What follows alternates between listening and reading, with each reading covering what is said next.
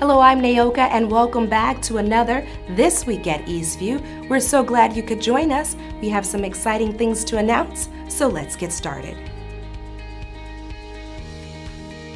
I'm Jason Smith, Eastview's family pastor, and we're excited to offer our new annual parenting plans, which are coming available in mid March 2016.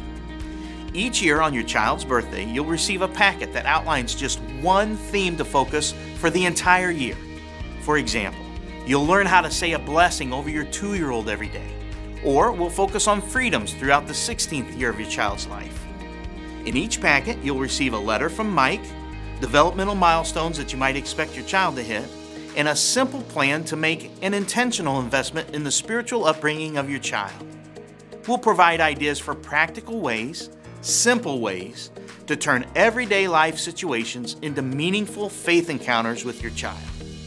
We have annual parenting plans available for newborns through their 18th birthday.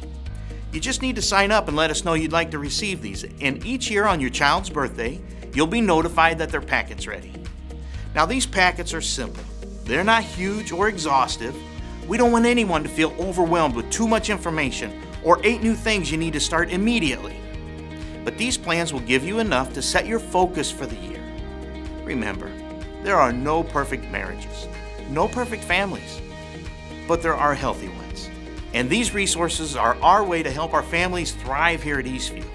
For more information or to sign up today, stop by our Family Resource Center outside of the Harvest Bookstore or sign up online at eastviewchurch.net slash parenting plan. Thursday, March 3rd, is going to be the next night of worship for young adults. Every once in a while, we need a night where we can open ourselves up to the gospel and invite God to call us into deeper relationship.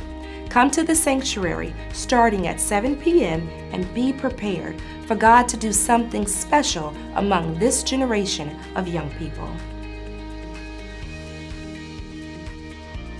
We've covered a lot today. All the details of these announcements and others can be found in our weekly e-news. Go to eastviewchurch.net slash e-news and sign up to stay up to date. If you're new, there's one place we want to make sure you stop by, and it's the family room. You can find it on the lower level of the atrium next to the bookstore. On any Sunday, our family room is open to welcome new people, get you integrated into the life of our church, and to help you grow. We hope you've enjoyed our time together. Have a blessed week.